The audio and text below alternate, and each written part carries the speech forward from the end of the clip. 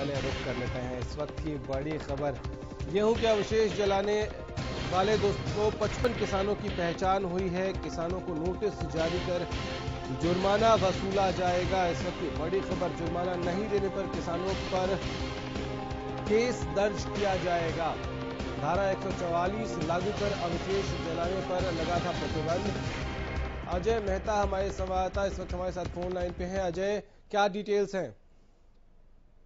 जो जो गेहूँ के अवशेष थे खेतों में पड़े थे उनको जिन किसानों ने आग लगाई है, उन किसानों को जो है प्रशासन द्वारा चिन्हित किया गया है। वो लगभग 255 ऐसे किसान हैं जिन्होंने जो ये गेहूँ के अवशेषों को आग लगाया था। ये अब प्रशासन जो है, इनसे जुर्माना वसूलने की कार्रवाई में लगा हुआ है और शीघ्र ही जो है, इनका कहना है कि नोटिस जारी करके और जुर्माना वसूला जाएगा। अगर कहीं आनाकानी करते हैं किसान जुर्माना देने में तो उनके खिलाफ निश्चित तौर पर जो है एक जो आईपीसी की तहत भी मामला दर्ज करवाया जा सकता है। जी ठीक है, एक बात बताइए कि वो अवशेष न जलाएँ उसके लिए क्या वैकल्पिक व्यवस्था प्रशासन की तरफ़ से की गई थी? जी देखिए गौरव जो सरकार की तरफ़ से ये एक एनजीटी के आदेश थे कि जो खेतों में पड़ा है अवशेष जो है उसे ना जलाया जाए ताकि जो पर्यावरण को जो नुकसान होता है जिस तरह से वो नुकसान से बचा जाए। लेकिन कोई सरकार की ओर से कोई ऐसी वैकल्पिक व्यवस्था नहीं की गई थी जिससे किसान जो है इनका अवशेष को ठिकाने लगा सके या इसका पूर्ण रूप से निस्तारण कर सके। अब किसानों के आगे भी एक समस्या ये बहुत बड़ी खड़ी हो गई थी कि अवशेष को आखिर किया क्या जाए। थक हारकर जो है किसानों ने इसे आग लगाया था।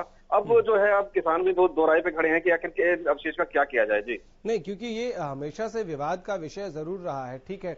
एनजीटी के आदेश भी हैं और यह कानून के खिलाफ भी है कि नहीं जलाना है, और ऐसा करने वाले कानूनी रूप से अपराधी भी हैं या दोषी भी हैं, क्योंकि उनको कानून के दायरे में रहना है। लेकिन साथ ही साथ एक बात जो हमेशा से मांग उठती रही है किसानों की तरफ़ से, सामाजिक संस्थाओं की तरफ़ से भी, कि क्या वो जो अवशेष खेत में पड़ा है, उसको ठिकाने लगाने के लिए क्या सरकार की तरफ़ से कोई व्यवस्था नहीं होनी चाहिए? तो क्या प्रशासन ने कोई जानकारी ऐसी साझा की उनके साथ कि उसका किया क्या जाना? ठीक है, वैकल्पिक व्यवस्था नहीं की गई। उनको क्या ये जानकारी मुहैया कराई कि क्या किया जा सकता है उसका? जी, गौरव, देखिए समय समय पर जो किसान है और प्रशासन है, सरकार है, इस अवशेष को लेकर के आमने सामने होते रहे हैं।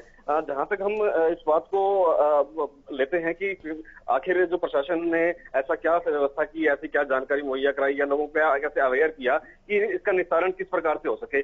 सिर्फ़ जो है एक तरह से हम यूँ कहें कि कार्यशाला लगा दी जाए या सिर्फ़ लोगों को बताने से कि ये इस तरह से निस्तारण होता है उसका निस्तारण नहीं हो पाता, क्योंकि गेहूँ के अवशेष हो या धान के अवशेष हो, भारी मात्रा के अंदर होते हैं, उनका निस्तारण करना किसान के लिए बहुत मुश्किल है। सरकार का जो किसान है लगातार सरकार से भी मांग करते आ रहे थे कि किसी प्रकार से जो ऐसी जो मशीनें हैं हैप्पी रीडर सीरियल्स वगैरह हैं इनको मुहैया करवाए जाए ताकि ये अवशेषों का निस्तारण हो सके। ठीक एक आखिरी सवाल का जवाब दीजिए।